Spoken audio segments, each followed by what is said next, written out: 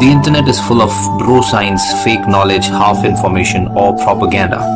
Your quest of reliable, authentic health information ends here. So subscribe this channel and hit the bell icon and you never have to go anywhere else ever again.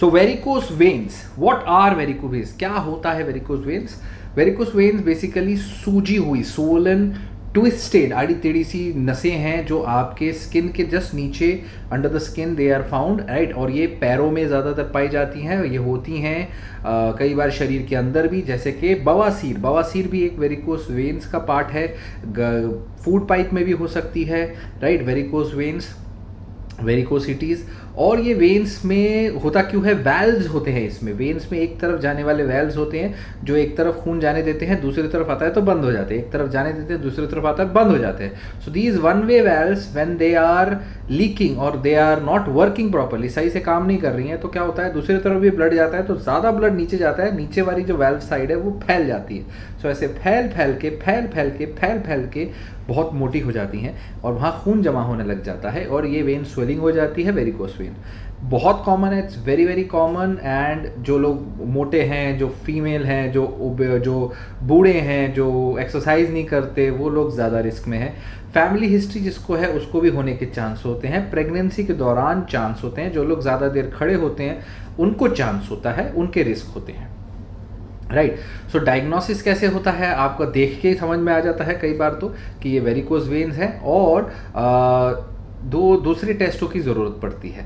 और तो treatment कैसा है मोटा मोटा तो इसका treatment जो होता है एक्सरसाइज लूजिंग वेट थोड़ा बहुत पैर को ऊपर रखना, क्योंकि पैर ऊपर रखेंगे हार्ट से ऊपर तो खून वापस ग्रेविटी से आ जाएगा और वेन खाली हो जाएगी। उसके बाद आप स्टॉकिंग्स पहन सकते हैं कंप्रेशन स्टॉकिंग वेन को बंद रखेंगी राइट और अल्टीमेटली वेन जब बहुत ज़्यादा हो जाती है बड़ी तो उस केस में फिर आपको सर्जरी प्रोसीजर्स या कुछ कराना पड़ता है। उसके बारे में भी हम बात करेंगे कौन कौन से प्रोसीजर्स होते हैं बट पहले टेस्ट वेरिकोस वेन डायग्नोस करने के जो टेस्ट हैं, वो है सबसे कॉमन टेस्ट जो किया जाता है, वो है venous ultrasound venous colour Doppler जो कि आपके पैर का किया जाता है। तो वीनस अल्ट्रासाउंड क्या है? सी वीनस अल्ट्रासाउंड में साउंड वेव्स यूज़ होती हैं जिससे कि आपके वेन्स की इमेज बन जाती है। सो so, हम लिटरली वेन्स की picture we can see the picture and the structure of the veins from inside the flowing blood can be seen तो ब्लड फ्लो होते हुए देख सकते हैं हम डॉपलर स्टडी से। और उसके थ्रू हम अंदर बैर प्रेजेंट क्लॉट्स हों तो भी देख सकते हैं। और वेन ढीली ढीली टॉर्चुअस मोटी मोटी हो गई वो भी देख सकते हैं। So in this way we can see अगर डीप वेन थ्रोम्बोसिस तो नहीं है क्लॉटिंग तो नहीं है, और आपका वेरिकोसिटीज़ वेरिकोस वेन्स तो नहीं है। So this is the ultrasound और कई बार अल्ट्रासाउंड में आपको ये भी बोला जाता है कि आप कुछ टाइम तक मान लीजिए चार छः घंटे खाना ना खाएँ उससे पहले बट इसमें और पैरों में पहनने वाली कोई भी ज्वेलरी निकालनी पड़ेगी, जहाँ पर भी वो वेरिकोसिटीज़ हैं, जहाँ का अल्ट्रासाउंड होना है। बाकी ये बिल्कुल सेफ़ प्रोसीजर है, अल्ट्रासाउंड में कोई भी प्रकार का कोई रिस्क नहीं होता। It is painless it is safe और it is basically sonography ultrasound. जो प्रेगनेंसी में करते हैं बच्चा देखने के लिए हार्ट के लिए इकोकार्डियोग्राफी वैसे ही खून की नसों के लिए वीनस डॉपलर होता है। वैसे ही खून की नस जो लेके जाने वाली होती है आर्टीरियल डॉपलर भी होता है। आर्टीरियल डॉपलर में क्लॉट आ गया तो वो अलग बीमारी है। वो वो पेरिफेरल आर्टरी डिज़ीज़ है। उसमें पैर काला पड़ेगा और वे, इस केस केस में वीनस वाली बीमारी में पैर सूज जाएगा। Right so that is how it goes और क्रोनिक प्रॉब्लम में वेरिकोज मेन में धीरे धीरे पैर जो है, उसकी चमड़ी डिसकलर होके अल्सर भी बन सकते हैं वीनस अल्सर्स बन सकते हैं। राइट एक्सरे से हमें कोई नुकसान नहीं है। एक्सरे बिल्कुल नॉर्मल कॉमन चीज़ सॉरी ये अल्ट्रासाउंड बिल्कुल नॉर्मल है। और उसके लिए आपको डॉक्टर के पास में कोई भी बहुत टाइम ज़रूर लगता है, क्योंकि पैर की नसों को ढूंढना पड़ता है। बहुत सारी नसें होती हैं सो टाइम टेकिंग होता है, बस, लेकिन उसमें कोई नुकसान नहीं है, कोई भी साइड इफ़ेक्ट नहीं है।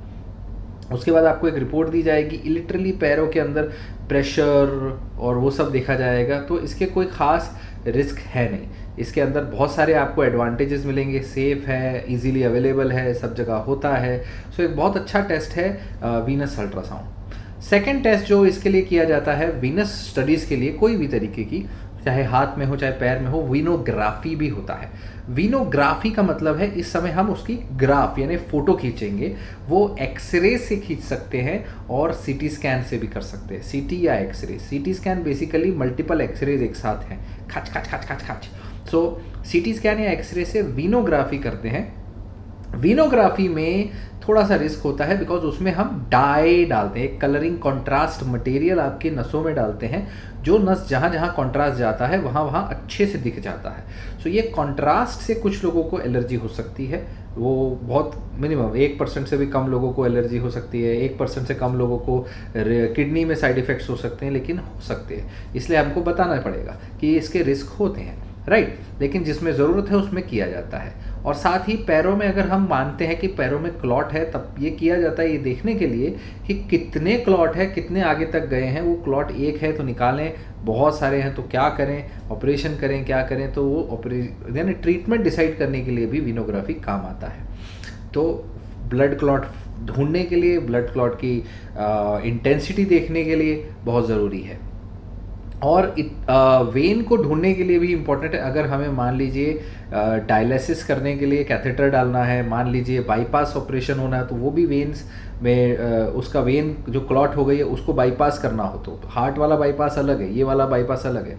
एक वेन जा रही है उसको यहाँ से यहाँ जोड़ना है वो बाईपास हुआ कि भाई हाँ यहाँ क्लॉट है बीच में यहाँ यहाँ जोड़ दिया। So that is how it is done